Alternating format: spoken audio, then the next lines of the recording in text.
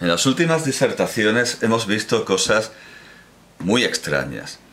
Hemos visto, por ejemplo, al comunista Hugo Chávez predicar la pobreza evangélica en lugar de anunciar al hombre nuevo y todas las ventajas científicas del socialismo científico, todos, eh, toda la liberación de los trabajadores y de los obreros gracias a las máquinas como como querían William Morris y Oscar Wilde, en lugar de predicar la prosperidad a la que nos iba a llevar el comunismo, ese periodista americano que fue a la Unión Soviética y dijo, sé que el futuro existe porque lo he visto, o algo así. Eh, ahora mismo no lo, no, lo, tenía, no lo tenía preparado y no, no me acuerdo exactamente de, la cita, pero eso es, dijo, el futuro funciona porque vengo de allí. La Unión Soviética era el futuro y era un futuro que funcionaba perfectamente y donde todo el mundo era feliz porque no tenía que trabajar apenas y tenía todas las comodidades materiales imaginables. Y sin embargo vemos al comunista Hugo Chávez citar a los evangelios cuando eh, le viene un joven rico a Jesucristo y le dice, mm, sigo todos los mandamientos, ¿qué tengo que hacer ahora? Deja todo lo que tengas y sígueme. Y el muchacho rico se fue muy apenado y muy, muy compungido porque era muy rico. Lo que nos está pidiendo el comunista Hugo Chávez no es que sepamos, constatemos que el futuro funciona porque, porque hemos ido allí, sino que lo dejemos todo y vivamos como, como quería la iglesia primitiva, que bueno, era comunista, tenía bolsa común, la bolsa al principio la llevaba Judas, eh, luego, em, luego se exige a todos que compartan bienes, y ahí tenemos la simpática, la simpática historia de Ananías y Zafiro, pero el comunismo científico se suponía que no era eso. El comunismo, el comunismo científico no iba de vivir como los primeros cristianos, por más que Kautsky hiciera ver que el origen del comunismo estaba allí. Esto es bastante contradictorio porque para decir eso, para decir, eh, para decir, sí, estoy buscando mientras tanto lo de eh, lo del futuro, bueno, busco futuro, eh, futuro soviético, periodista, a ver si recuerdo, no me gusta dejar cabos sueltos, estaba diciendo que para... Eh, no, claro, me, viene todo lo contrario, me vienen periódicos de izquierdas, The Guardian, el periódico de izquierdas, diciendo, ahora lo sabemos, el horroroso pasado de Rusia se puede convertir en nuestro futuro. Bueno, puede ser que esté parafraseando precisamente, ahora lo sabemos, puede que esté parafraseando a este periodista. Bueno, me piden un montón de galletas. Eh, muy, muy ingenuo no puede ser el artículo porque lo firma Dmitry Gluhovsky eh, y es un, es un novelista ruso. O sea que no, no habla por boca de ganso como la mayoría de los periodistas occidentales.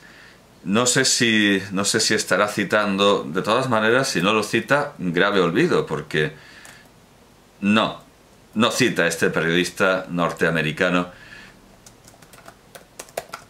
Voy a buscar, lo he visto. Es, bueno, eh, ah, sí, aquí está la cita, bien, aquí está. Es, eh, no es exactamente como yo he dicho, es, he visto el futuro y funciona. He visto el futuro y funciona.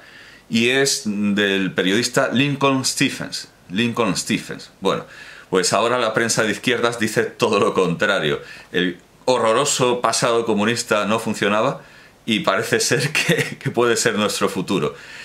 He visto el futuro y funciona. Ahora sería, hemos visto el futuro, que es el pasado soviético, y no funciona. Y es espantoso. Bueno, como decía, para que Chávez, para que Hugo, para que Hugo Chávez Frías me predique el Evangelio, no necesitaba, no necesitábamos ni a, ni a Feuerbach, ni a Marx, ni a Engels, ni a Lenin, ni a Mao, ni a nadie, ni a Stalin, ni, ni absolutamente a nadie. Ya estaba el Evangelio hecho. ¿A qué viene esto de, de pedirnos, deja todo lo que tienes y sígueme? Menuda contradicción, los comunistas predicando el Evangelio. Otra contradicción que hemos visto es la de la periodista o intelectual Marta Peirano a la que dije, eh, a la que le otorgué esta condición de intelectual, como Pablo Iglesias se lo otorga a Eduardo Inda, eh, desde luego no en serio, desde luego no en serio, porque la comparé con un concejal de Puente Genil que decía las mismas cosas que ella y quizá con más gracia, pero el concejal de Puente Genil no se considera intelectual, pues seguramente porque, habla acento, porque habla con acento de Puente Genil. En cambio esta Marta Peirano habla, habla más fina y entonces parece, parece algo más importante y más sensato, cuando es la misma estupidez que dice el concejal de Puente Genil. Bueno, pues esta mujer tan modesta que se hace llamar en redes sociales eh, mini petit, mini petit, la pequeñita, una especie de Uraya hip. Dije que lo que propone, lo que propone tanto ella como Miguel Brieva con su portada idílica que parece sacada de Félix Salten de, de Bambi, aunque Bambi es una metáfora de la progresión del nazismo. Lo que nos proponen con su portada de Disney, con desde luego esconde todas las oscuridades que se hallan en, en Felix Salten y en, y en Disney, porque esa portada lo que esconde es un mundo dickensiano en, en el que obreros del tercer mundo están aspirando cuarzo y, buscándose una silicosis y además contaminando de una manera indecible, indecible e irreversible la Tierra para que los escandinavos y ellos mismos, eh, esta Marta Peirano, Miguel Briva, puedan tener eh, paneles solares. Líbreme Dios del agua mansa que de la brava ya me...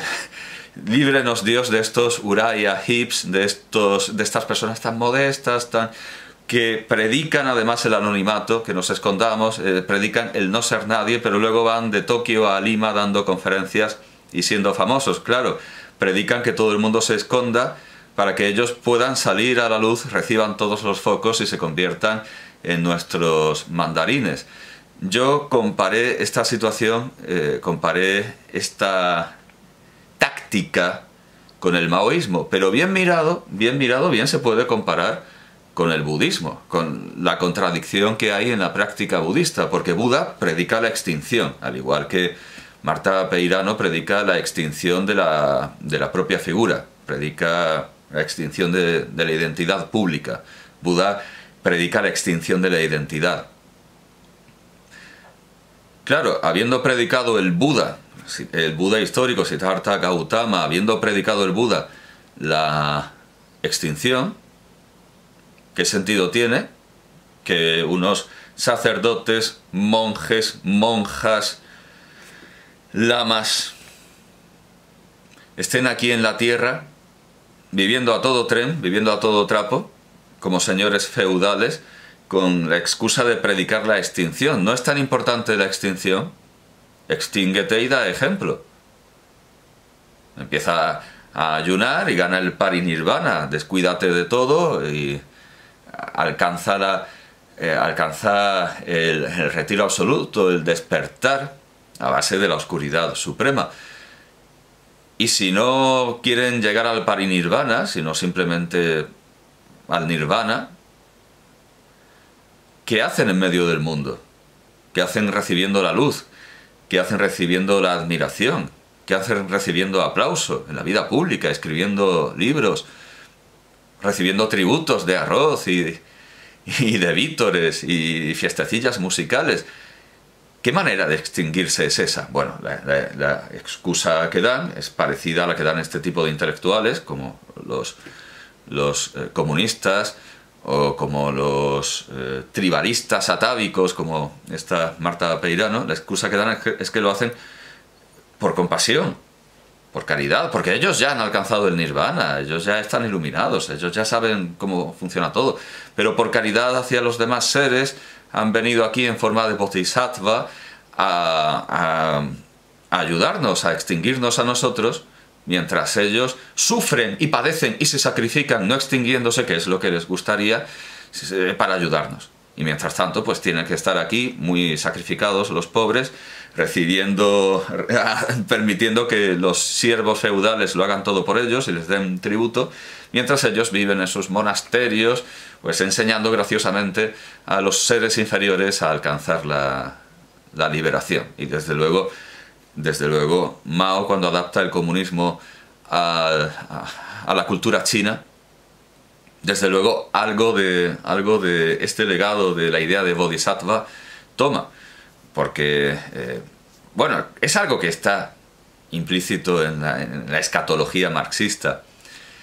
Esto de, sí, bueno, hay que, hay que hacer cosas que a lo mejor no parecen muy comunistas y que no nos gustan mucho en el camino, el camino hasta lograr esa utopía perfecta a la que la historia se encamina maquinalmente y de manera de manera irresistible. No se puede resistir a ese movimiento de la historia, simplemente uno se puede poner encima. Hemos visto, como digo, muchas contradicciones y parecería una nueva, la que voy a traer ahora como ejemplo, que es la película El televisor de Ignacio, eh, perdón, de Chicho, Chicho, pero vamos, Chicho, no tenemos esas confianzas, aunque era un personaje muy familiar, desde luego, estaba en todos los hogares. Eh, ¿Por qué habré dicho?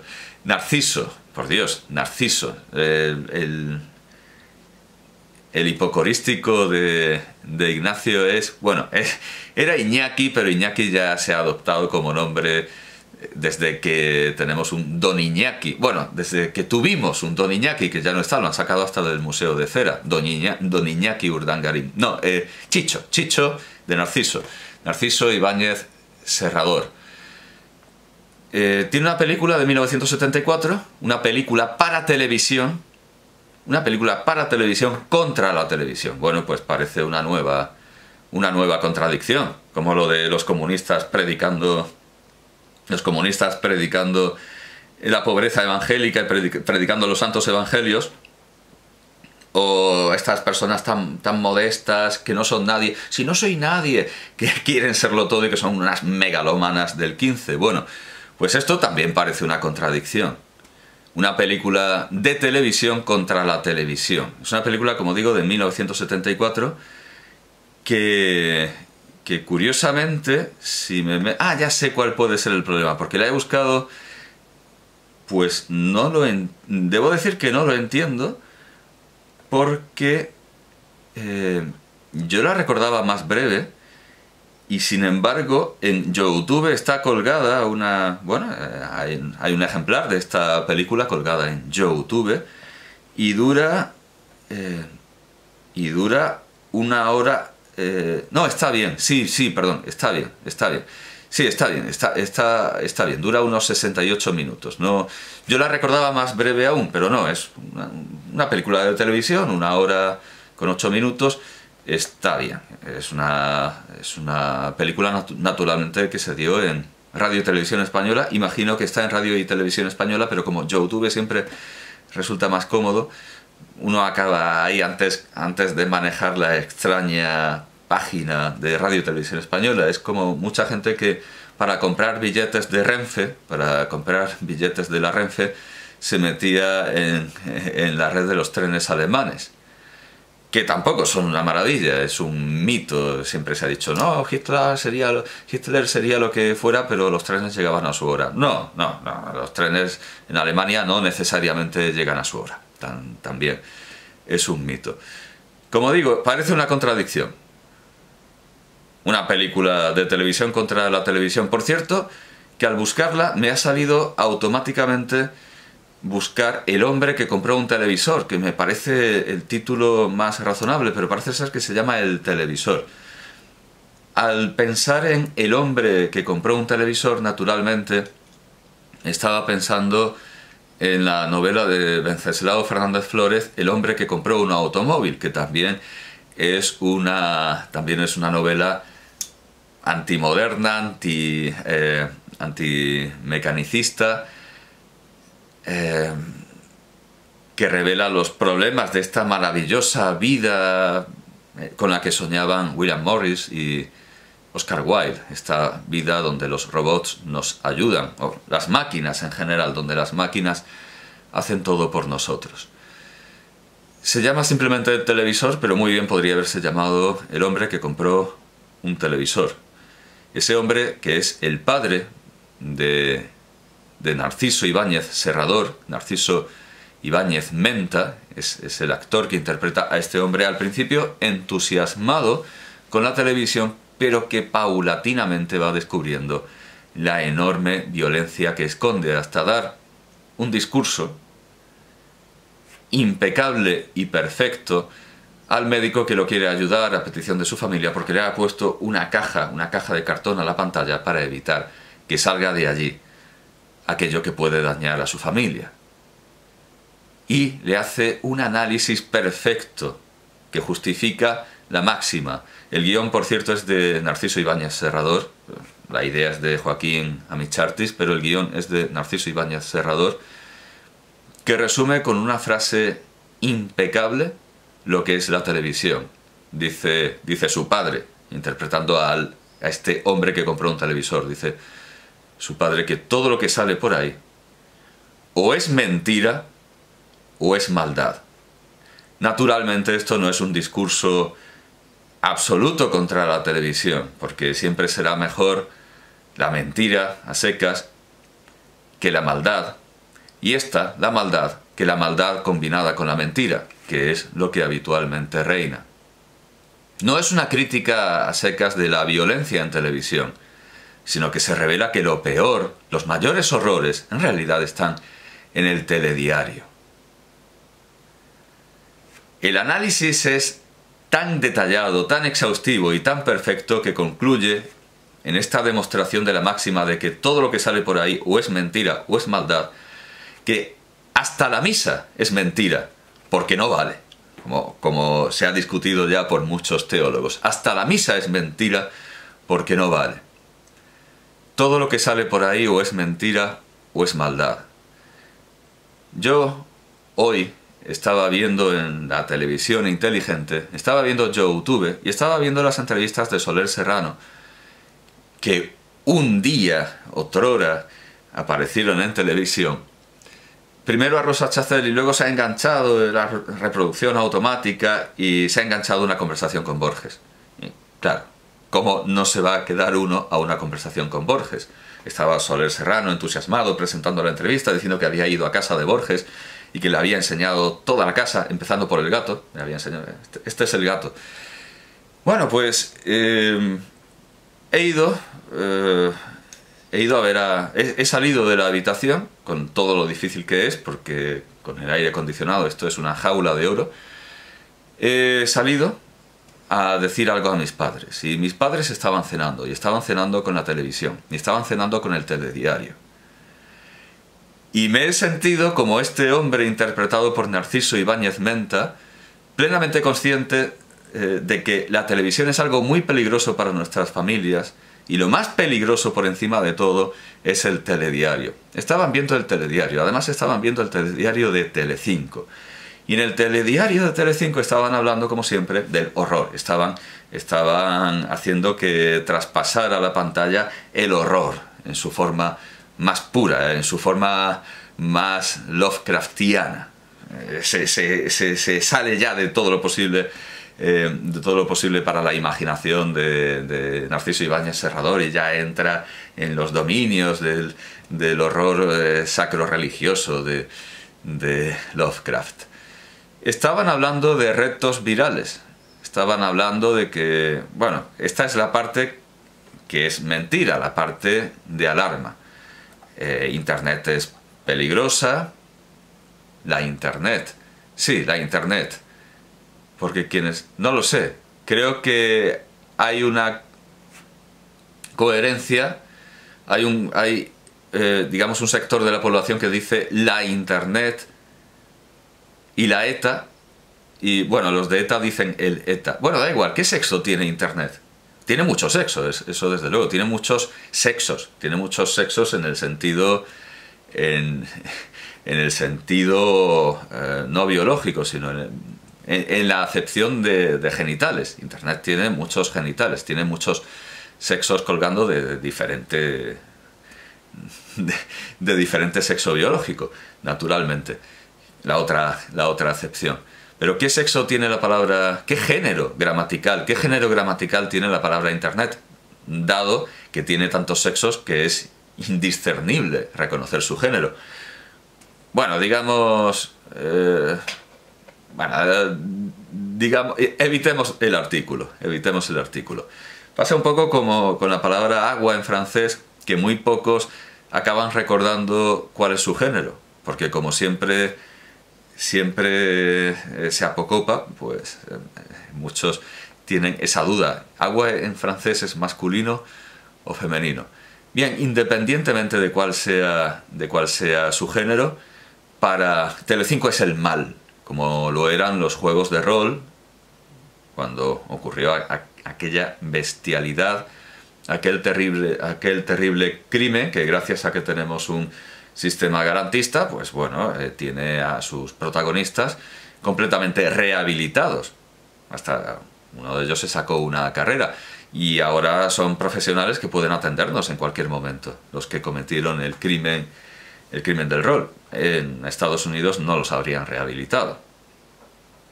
Bien, bueno, pues al igual que el rol pasó a ser algo satánico, diabólico, porque se cometió un crimen usando su plantilla como podría haberse usado eh, una quiniela o cualquier otro juego que está aceptado, el, crimen de las tragaperras, el crimen del bingo.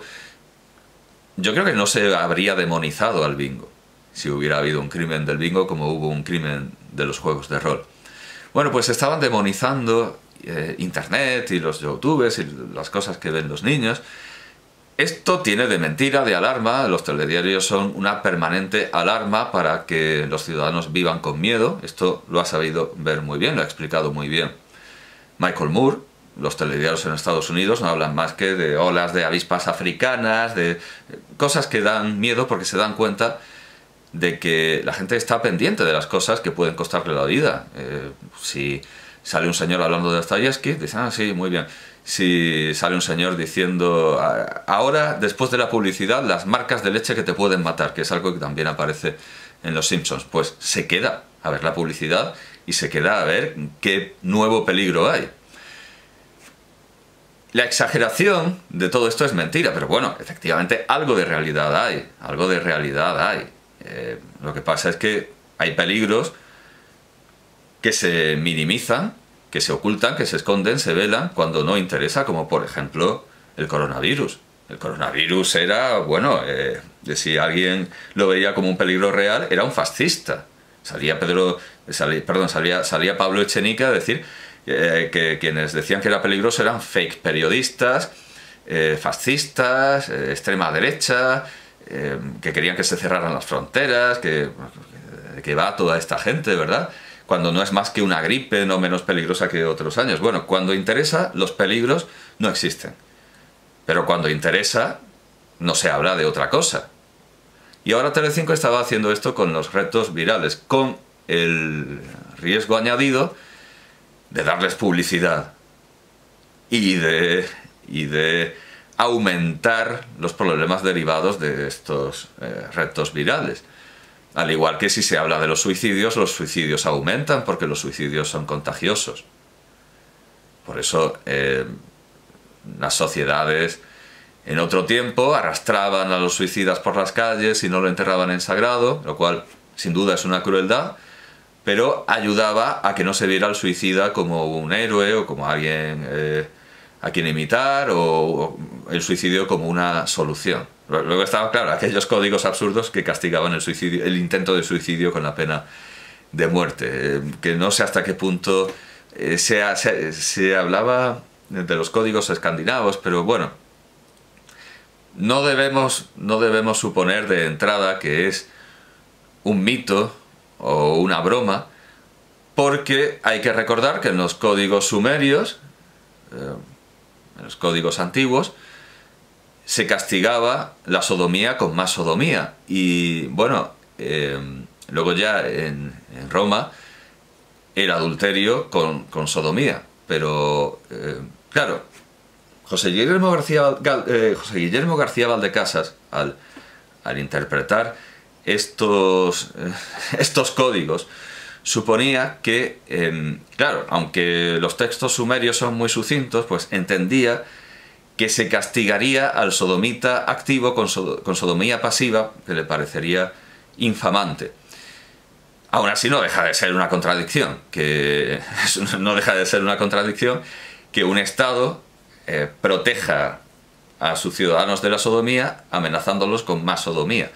En el caso de los romanos, si cometían adulterio, pues un, castigo, pues un, vamos, un castigo clásico, típico, que, del que además se hace eco Catulo, era meterles mújoles por, por vía rectal. Esos simpáticos eh, y bien alimentados peces, por otro lado. Bueno, pues eh, no salimos de contradicciones. Esto, estos son, son, son, desde luego, contradicciones. Permanente contradicción. Eh, con lo de los peces, por vía rectal, efectivamente, creo que, creo que me he desorientado.